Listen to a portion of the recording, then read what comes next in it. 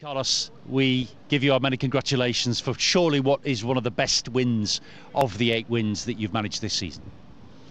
Of course, uh, we knew how tough will be that game, uh, but it's true that we wanted to, to change the dynamic of the last two results, and especially the fact that we play here at home.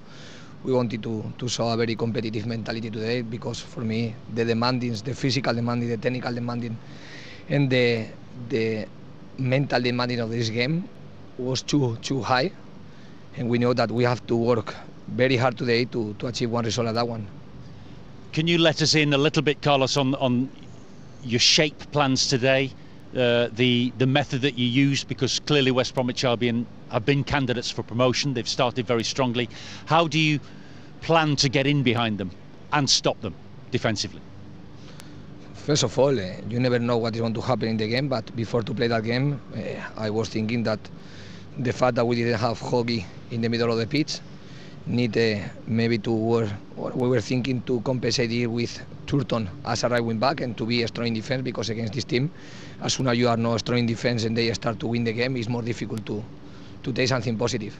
So the idea was to be defensively very solid, and after using the space that they give us, they give they gave today to us because the was very difficult to play short because they are a very aggressive team. But it's true like that they are very aggressive. Sometimes you can find some spaces in behind to, to surprise.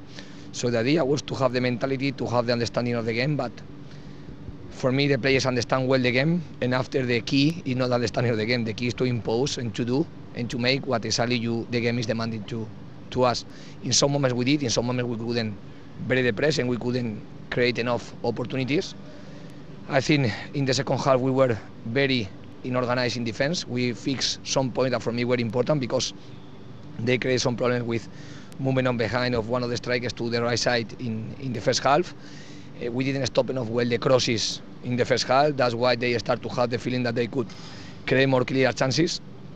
But uh, I was watching that in the second half the team were dominating better the the game in defense without have the option to play a lot in attack.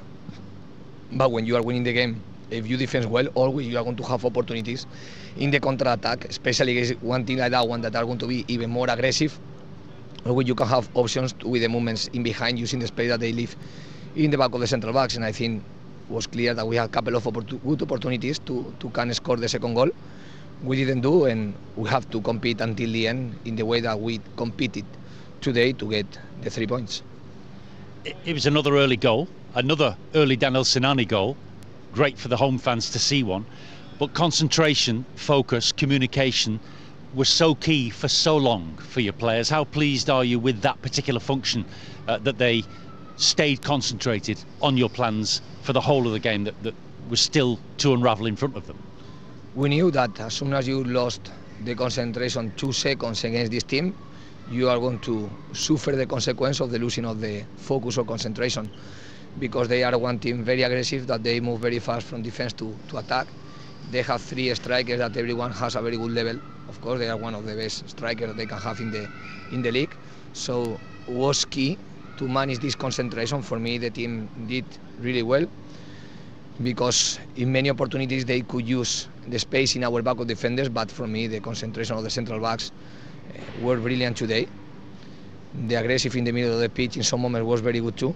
And it's true that it was difficult to impose our style, was difficult to play short, but sometimes you need to play depending where the spaces are going to be. And today the spaces were clear in behind, but even if we didn't use enough times to this space to kind of balance more the game. But the mentality of the player were for me brilliant, and without the mentality, it would be impossible to, to achieve this what the achievement of the of the team today. Take some congratulations yourself and your, your fellow coaches, Carlos, because you've beaten a very good team, having clearly done extra homework on West Bromwich Albion.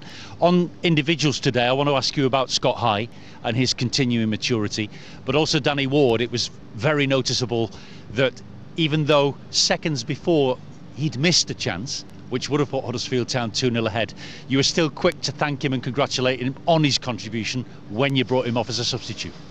For me, uh, the game that Danny Ward did today was a very good game because it was not easy to play, to be competing for all the balls, to after to keep even some balls and to make one hard work that he was doing for me fast, fantastic in the game. I didn't have my plan was not to play with him as a striker, to use more Sinani as a striker, but watching the work that Danny Ward was doing today, we didn't change and we were keeping playing with him and Sinani on the sides.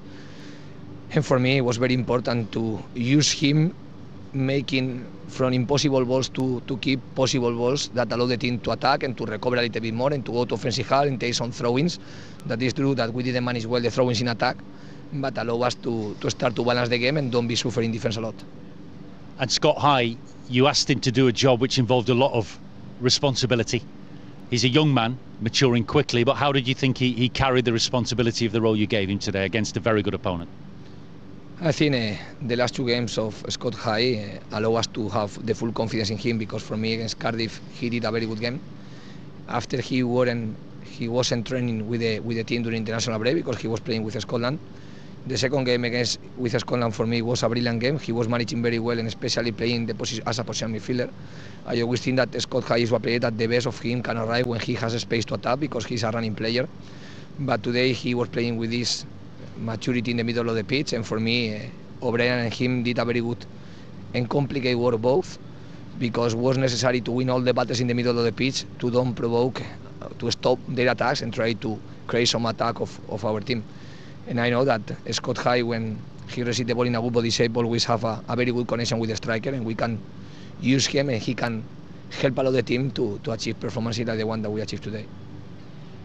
Can you enlighten us a little bit on John Russell? Finally, Carlos, we've been introduced to him properly at home for the first time today. What kind of a role can we expect him to play in the team in terms of his position and his long-term influence? He's obviously physically very impressive. Uh, is he an attacking or a defensive midfielder for those who have not seen him in, in the B team? He is both things.